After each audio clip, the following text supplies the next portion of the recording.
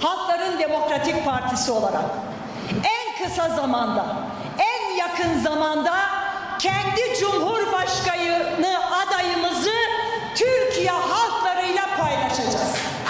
Yani HDP kendi adayını çıkaracak, kendi adayını gösterecek ve seçimlere kendi adayıyla gidecek.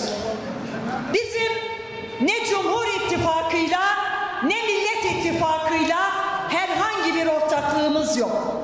Ancak ilkesel yaklaşımlarımız elbette ki var. Bu ilkesel yaklaşımlarımızı zamanı geldiğinde oturup konuşabiliriz.